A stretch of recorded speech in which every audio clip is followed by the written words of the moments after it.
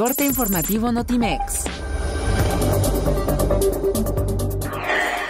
El presidente Enrique Peña Nieto firmó el decreto para otorgar facilidades administrativas a los concesionarios o asignatarios para la exploración de aguas nacionales, para que productos agropecuarios de todo el país puedan regularizar sus permisos de extracción del vital líquido.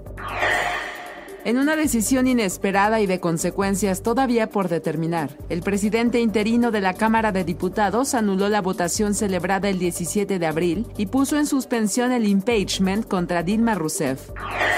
El secretario de Educación Pública, Aurelio Nuño Mayer, descartó asistir al encuentro convocado por estudiantes politécnicos, pero manifestó su disposición a dialogar con toda la comunidad en el IPN o la SEP, pero ya al margen de la situación actual.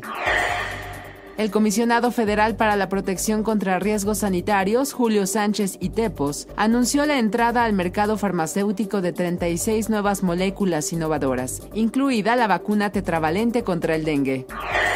Un supuesto penacho de Cuauhtémoc, el último Tlatoani azteca, es una de las piezas más sorprendentes encontradas por el periodista Miguel Gleason en la investigación que dio origen a su libro México Insólito en Europa, presentado en la Ciudad de México.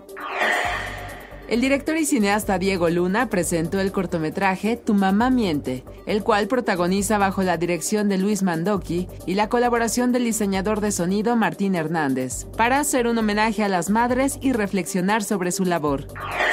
El América domina a Guadalajara en enfrentamientos de eliminación directa en liguilla, ya que de siete series que han disputado, en cinco de ellas se han impuesto los capitalinos.